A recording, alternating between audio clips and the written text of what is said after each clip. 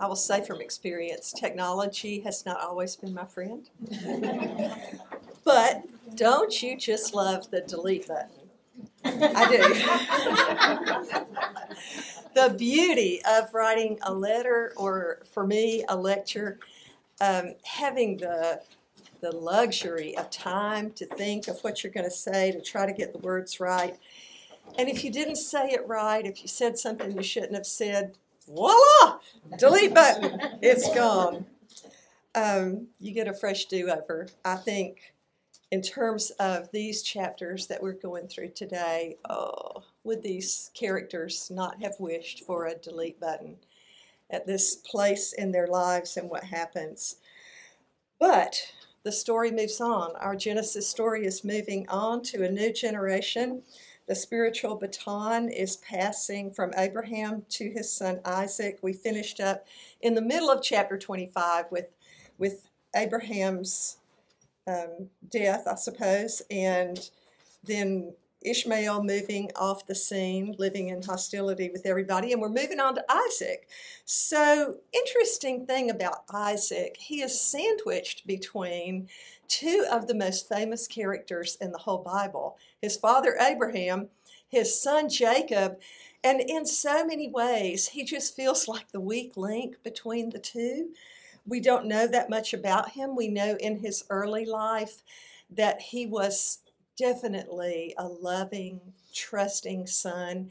He could have overpowered his elderly father trying to tie him down at Mount Moriah as a sacrifice, that he did not, that he surrendered himself to that. Think what that says about his heart. Um, think what it says about his heart when he allows his father to send a servant to choose a bride for him. He has no say in that. But when she comes, he does fall in love with her and he is faithful to her. We have no record of any other woman in his life, in Isaac's life. Um, today's stories are going to fill us in a little bit more about Isaac. Some stories that are admirable and some stories that are terrible because God doesn't call perfect heroes and He doesn't give anybody the luxury of a delete button. So, we're going to look first at his family and neighbors, where Isaac plays into those things. Um, first, we'll start his story out with warfare in the womb, and then the sequel to that, which happens when the boys are about 15, we would guess. Interesting, we're starting out with Isaac, but look who the first story is about. Jacob. So, right at the beginning, he's been a little overshadowed by his famous son. The first story is the birth story, verses 19 to 21. Isaac's 40 when he marries Rebecca. He's 20 years older when she finally gets pregnant. A good thing about him, he prays for his wife. When Abraham went to the Lord about progeny, about a child to carry on, he is more thinking about himself being in that line to carry on and God providing a son. But when Isaac goes to the Lord, he's praying on behalf of Rebecca, which is just so sweet. It tells you about his love for her, and it is a reminder of us as spouses to be dutiful, faithful prayers for our husbands. The Lord answered his prayer. Rebecca became pregnant right off the bat she feels that something is not the way it should be. In a day that there were no ultrasounds, she's feeling something really crazy going on in her womb. Now, she's never been pregnant before, but surely this is something quite unusual. So, here's what Rebecca does, which will tell you something good about her. And we're looking for good in everybody today, aren't we? so, she goes directly to the Lord and inquires of him what is going on. And the Lord reveals to her, and we assume that this revelation is passed on to Isaac and that ultimately it is passed on to the boys. What is happening to me? And the Lord says, okay, beyond just having twins, you've got two nations in your womb, two peoples. One's going to be stronger than the other, and the older will serve the younger um, another biblical theme here. The paradigm has developed through culture of mankind that fathers would pass this birthright on to their oldest sons. But God turns that upside down. Not just here, He did it from the very beginning. If you look at the Adam and Eve story with their sons and what happened with them and who carried on the line. But He'll do it throughout Scripture, choosing David. David was you know, the youngest in his family. So God does this apparently intentionally to show, along with this 20 year wait, that what is happening in God's story is done not by humans causing it to happen by their own will, but by God causing it to happen. He uses miraculous events to show He is the author of this story. He is the one who is providing for it and propelling it. So the first boy is born, verse 25. He's red. Uh, his whole body is hairy. So they name him Esau, which means hairy, H A I R Y, Harry. He's, he's a furry guy. Um, he's also sometimes called Edom, which refers to the redness, his ruddy complexion. And red just keeps coming back in his life. Um, the stew was that red stuff, that red stew. And then where he ends up living, apparently, red cliffs. You could go there today, and it's just red, rugged cliffs. He's an outdoorsy guy, he's a hunter. And here comes the next son, his brother, who comes out holding his heel and his name is given to be Jacob, which has lots of different names and they don't seem to connect to each other exactly. But one of the meanings is like supplanter because he's holding the heel of his older brother as if to pull him back and take his place. So he becomes a visual prophecy which has already been given to his mother. This is exactly what he will do. He will pull Esau from the expected place and he will supplant him.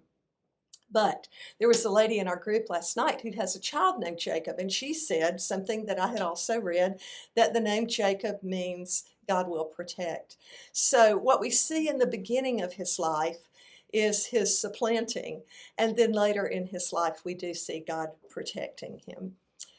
Um, Isaac is smitten with the rugged son, which is kind of interesting because Isaac himself is not an outdoorsy, rugged man. He's not a man's man, but he is smitten with the boy who is. And Rebecca has aligned herself.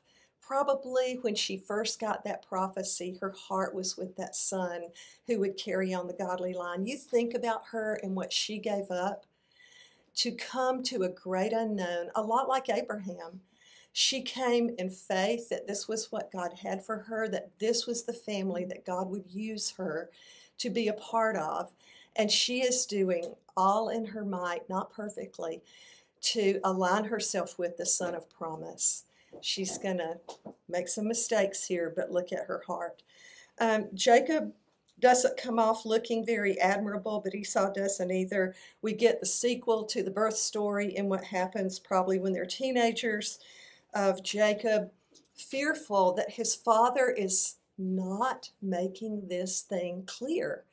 That God has chosen Jacob to be the promised son who will carry on the line, and he wants to somehow cause that to be legally documented. So, in a crazy way, he offers Esau something that he knows will appeal to this materialistic, stomach driven, ungodly man that Esau is already becoming. Esau comes in hungry and he gives up everything legally, apparently, with the wording here, for a bowl of soup. A bowl of bean soup. Doesn't even have any beef in it or lamb. bean soup. So scripture makes it clear in that last sentence in verse 25. So Esau showed that he despised his birthright. I think what they mean for us to see there is the spiritual part of that birthright. It didn't mean anything to him, and it apparently meant everything to Jacob. The New Testament verses that you looked up just commented on that as well, in case there's any doubt. Esau did not have the respect for that birthright, and his brother did. Well, so much for home life. In chapter 26, we're going to see Isaac as a neighbor. But we're going back in time here because if you think about it, for Rebecca to seem beautiful and desirable, she probably wouldn't have been if she had two little ankle biters. So this is a time before, and the commentaries say the reason it's put here is to help us understand God's blessing to Isaac. I'm so scared I'm going to say the wrong names, and I probably will, but you'll know who I'm talking about. So, just that that the narrator wants us to get the meaning of that blessing, the meaning of the relationship with God, which will come out here. So Isaac goes um, to Gerar. Famines were pretty rough in the promised land, but Egypt had the Nile River, and so it was mostly fertile there in times of famine, not 100% but an easy place to run to when you felt like you needed help. So God catches Isaac en route to Egypt. He's going to go through the land of the Philistines first, and God stops him. Wait, stop. Don't go any farther. So he stops, but he still doesn't do it right.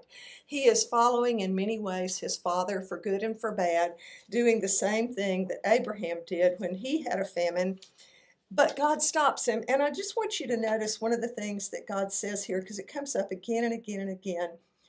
In verse 3 Stay in this land for a while. I'll be with you. I'll bless you. For to you and your descendants I will give all these lands and confirm the oath to Abraham. I will give you all these lands. God never fails to repeat that the gift of the land to this promised line that will be a nation someday, this is a gift he repeats over and over. And when you look at our news today, the struggles going on in the Middle East, it is hearkening back to them clinging with all they have to this promise that they believe irrevocably given to them by God for this land and they are going to go down fighting for it. Um,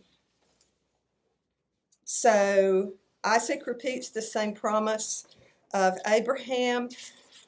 Commentaries are divided as to whether this is the same Abimelech. Some point out, well, it's been a lot of years that have passed because could it possibly be the same guy?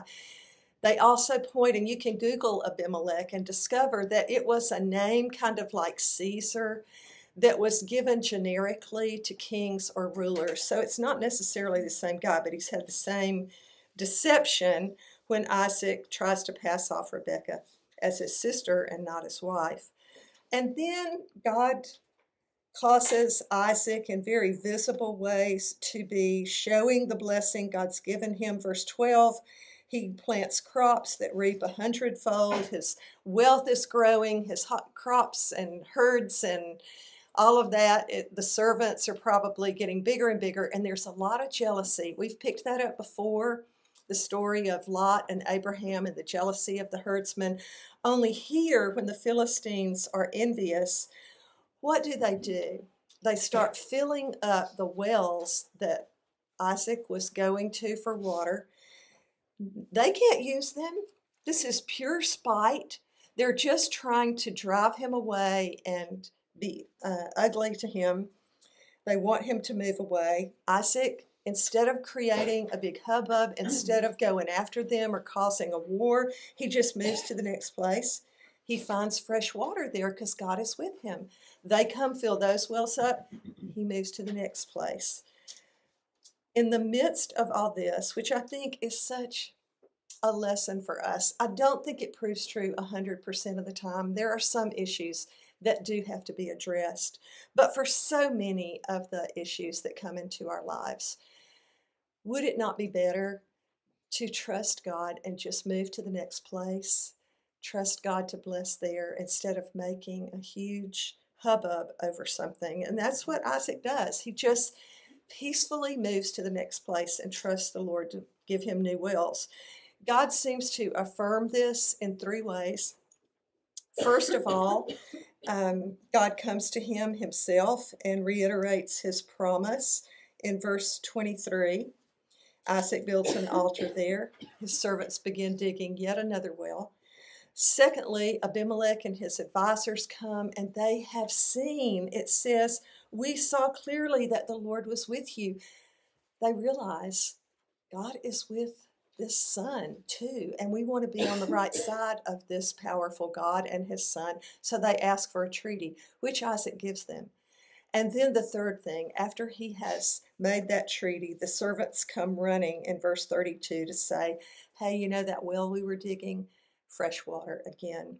So God has his ways of showing his affirmation when we are making right choices. The principle, if we will only let him, God will take care of our injustices in his own way and in his own time. If we will only let him, God will take care of our injustices in His own way and in His own time. So there are times I've done that well, there are times I've done that terribly. There's a line in the, the book, the movie Emma, that comes back to me again and again. Um, Jane Austen's book, Emma, I don't know if you've ever read it, but she's kind of a persnickety character. And Emma says something very unkind about one of her neighbors. Her dear friend, Mr. Knightley, who's been faithful and loving to her since the time she was a baby, he's that much older, he looks her square in the eyes and he says, Badly done, Emma. If you've ever heard that from somebody you love, from a faithful friend whose wounds can be trusted, it pierces your heart. God is our faithful friend, and his wounds can be trusted when he says, badly done. Here he says, basically, well done, well done, Isaac. I would much rather hear that. Often in my head, I hear, badly done, Christy, badly done. Oh. But is there an injustice that we need to give to God today? And will we be that faithful friend who can do such a thing lovingly? Correct. The battle for the blessing is in Genesis 27, but before we get there, we have a little bit of a prelude at the end of verse 20. No, let's see. Chapter 26, where it says that Esau married two Hittite women. That's just to clue us in. We've already had some clues. Esau is not going to be a godly man. He doesn't get godly things. He just, he's not there. So, anyway, when we get to this terrible story, each character is seen as worst. Every one of them. They're all trying to manipulate something. But keep in mind that God has set in place what will happen. And they are all, in some degree, not trusting God to, to carry that out. Jeremiah 17 9, the heart is deceitful above all else and desperately wicked. Who can know it? I hate that. It's true. Um, we don't want to look at this story. I just hate this story. I really do. Because I just see myself in it all over the place. Let's look at the characters. Let's look at the birthright and the blessing. We'll start off with Isaac. It would seem that in his older age, love of food and comfort and self will have dulled his spiritual senses. He wants what he wants, and he has let himself forget, or he is just simply trying to circumvent God's edict about the sons. He wants that blessing to go to the son he favors. And ironically, he thinks he's on his deathbed. Y'all, he's going to live for 43 more years. uh, he was old, he was physically blind, he was certainly spiritually blind. The birthright and blessing, I really spent some time trying to figure this out, trying to separate what it was in the culture between what it was in this particular family because it's a little bit different. This family has a God given birthright for a line that is going to stretch through time and ultimately change the world. So it makes it different. Um, but the birthright meant leadership in the family, at least a double portion of earthly goods. In this case, it would it would mean all the blessings that have been given to Abraham being passed down. So those blessings, reminder, the land, a seed, a progeny, children who would become a nation. The promise would also mean a relationship with God in this family that the rest of the world would not share in, but would learn about and be invited into because of this family. That they would be a means of blessing the entire earth. That's the birthright.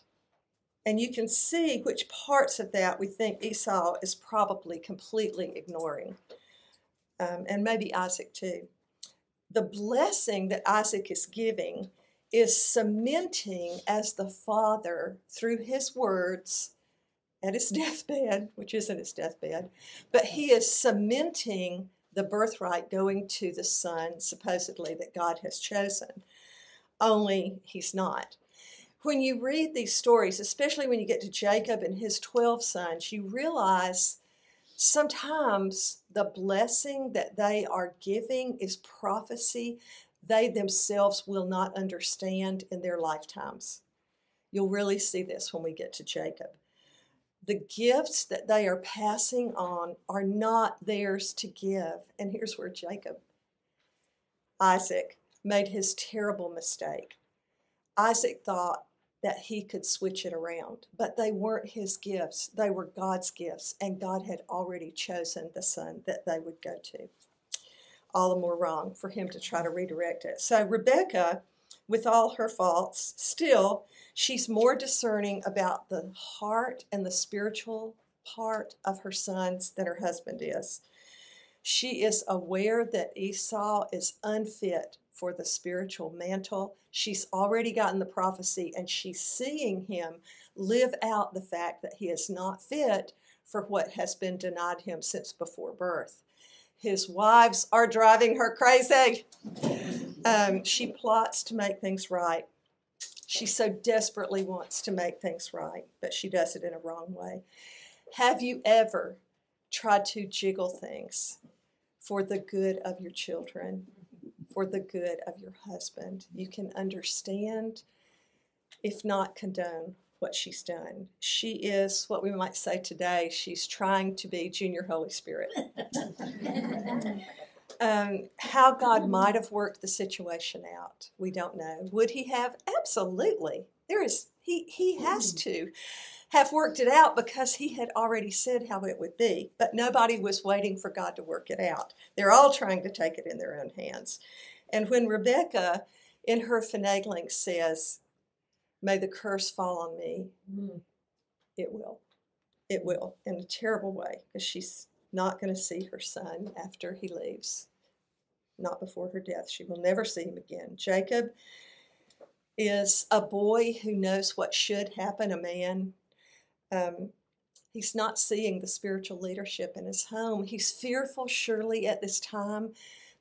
He doesn't know. Is it possible that Isaac is going to reverse what God had said would happen? Could that be?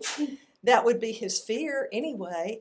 That all these years he's been anticipating this birthright, this blessing, and that by words that his father might said, it it might lock in something into place that isn't the way it should be. So he goes right along with it. He tells lies. He pretends to be someone he's not. He even brings God into it, which is just horrible. But to me, one of the worst things in here is where Isaac says, Come here, my son, and kiss me.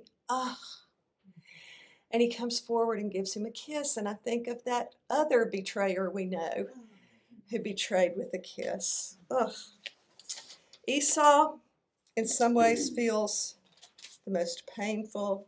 His cries, Oh, bless me, me too, my father. That cry, haven't you reserved any blessing for me? Do you have only one blessing, my father? Bless me too, my father. And he's weeping out loud. Isaac and Esau were definitely on the wrong side of things.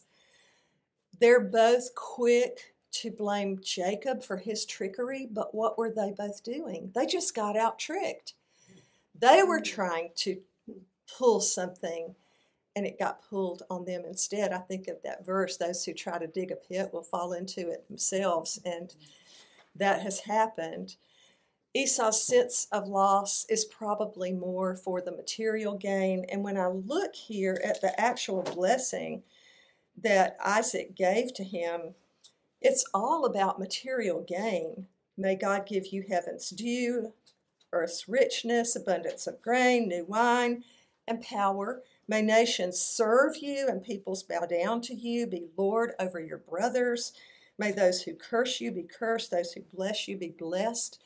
Where in here is anything about being a blessing to the world, about carrying on spiritual truths to a needy mm-hmm. planet of mm-hmm. people who don't know God? Nothing about that in here. So I think that is what they're thinking about. Interesting, too, that when Abraham died, he had already given a lot of his material goods, it says, to the other children and sent them away. And then when he died, it says everything he left then to Isaac. But here, it seems that Isaac thinks he's going to die and he hasn't prepared for any of that. So he he thinks he's just going to give everything and truly once he says it it is locked in so the only blessing if you want to call it for esau is a pretty sad one your dwelling will be away from the earth's riches away from the dew of heaven You'll live by the sword, serve your brother. When you go restless, you'll throw his yoke mm-hmm. off from your neck. Esau's home would be kind of a desolate place, red cliffs. His descendants are going to be burrs in the blanket of Israel for generations to come. They're going to be trouble for Israel when Moses is leading them through the desert. They are going to be trouble for Israel in the days of the kings. And right on into the New Testament, if you track it, the children of Esau, the Edomites, they're called Idumeans in the New Testament. The last known people in that line are the Herods. And look at what they did. The first one killed all the babies in Bethlehem to try to wipe out the Messiah. His son, the second one, took the head off John the Baptist. And the third one in the line killed the Apostle James and arrested Peter. And then they just seemed to die off the face of the earth. But all the whole line, they all seem to be characterized by twi- trying to thwart the purposes of God. I think back here of Isaac at the end when it says in verse 33 he trembled violently. Some have thought he was trembling in anger. I think he was trembling at the realization of what he had tried to do.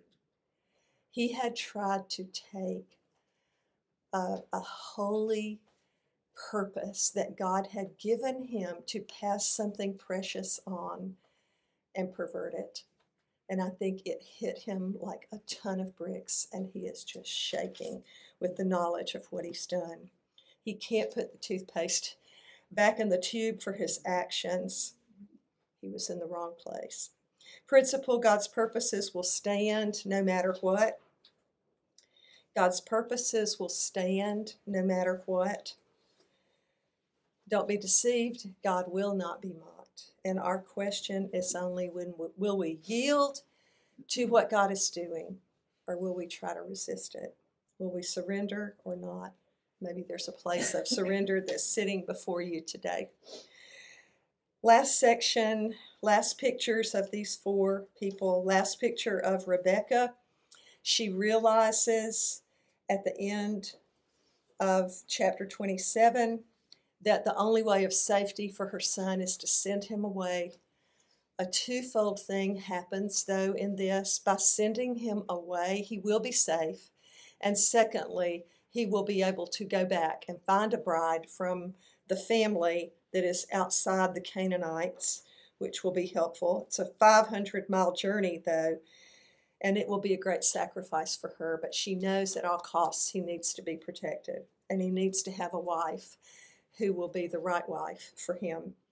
So, last picture of Isaac. Isaac does a 180. And this softens my heart toward him. It should yours too, because when he realizes he was wrong, he does the next right thing he calls Jacob in and he gives him the true blessing from his heart, knowing that this is no trick, this is Jacob, and he gives him the blessing. that he should have given him all along.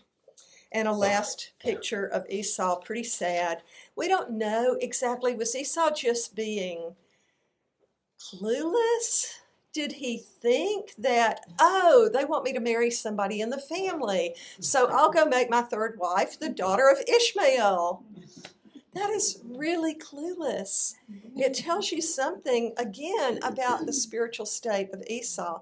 But it also could be that he's thinking, oh, you want family? I'll give you family. and he marries the daughter of Ishmael. So we don't know which. Um, and last, Jacob, who sets out in chapter 28, pretty pathetically. He's won, but it is a hollow horrible victory. He's lost everything. We don't have any indication he has a tent. We don't see any servants around. We don't see any worldly goods. He's got a 500 mile trip ahead of him on foot, all alone through the desert with all the guilt of having done something so bad. And he's a homebody, and here he is away from home. Uh, he stops that first night at a place called Luz. It tells us to make it even sadder a stone for his pillow. He may not be your favorite character, but gosh, it, it does tug at your heart. He's miserable. But who is the friend of the miserable? Who is the friend of the lonely? Who is the friend of the sinner who realizes they're wrong? Who comes to meet him and introduce himself to this one who will go on with him and for him? It is the Lord. Jacob dreams of a stairway. Your version may say ladder any regard. It's a portal into heaven. And Jacob is given this vision. All these years he struggled and worked and strived to be a part of what God was doing. And it backfired in his face. God unfolds it as a gift, which it always is. It can never be attained through striving or struggling. It is always grace. It is always a gift a stairway showing his connection. Angels are coming up and down it. God comes to him at his most helpless. No wonder that Jesus picks this story up when he talks to Nathaniel. He is that stairway, he would have us know. He is that stairway to heaven, to the Father, the only one, the only way to the Father. And now Jacob takes that very stone and he pours oil on it and he sets it up as a pillar and he calls the place Bethel, house of God. Um, the pouring of the oil on the stone is symbolic through scripture of pouring your life out to the Lord. He is worshiping here with all that he understands and knows, which isn't everything. He is pouring out himself to the Lord. He is so awed when he wakes up. Surely the Lord is in this place and I wasn't aware of it. Mm. Have you been there when you've gone through something hard and you're looking back and you're looking forward? The realization that God is in this place. He hasn't left you. He says, I won't leave you. I won't abandon you. I'm going to bring you back to this land. Oh, he is so grateful. He's so touched. And the stone becomes a place of worship. That's meaningful. At the end, he makes a vow to God again. What, what does this mean? If we look at him with a jaded eye, we say, ah, oh, he's just making a deal with God. If you do this for me, then I'll do this. Well, maybe. But maybe on the other hand, there's another use of the word if that is like the word since. Since you are doing these things for me, God, here is what I want to do for you. And I want to take it that way. I want to take it from a grateful heart that that is what he means to say here. He is at a place of a new beginning with God. He's moved from a man who so wanted to be a part of God's work in the world, but didn't know how, did it the wrong way, to someone who now knows God Himself. And he is going to go forward and make more mistakes. But now he knows God. God's kindness and grace have met him at the worst place in his life. God has promised he'll never leave him or forsake him, no matter what. So, like with all of us, the work of transformation is going to be a work in progress, but here's a principle. In the Lord's hands, failures aren't fatal. In the Lord's hands, our failures are not fatal. And in the Lord's hands, our failures can actually become new beginnings. Failures can be new beginnings.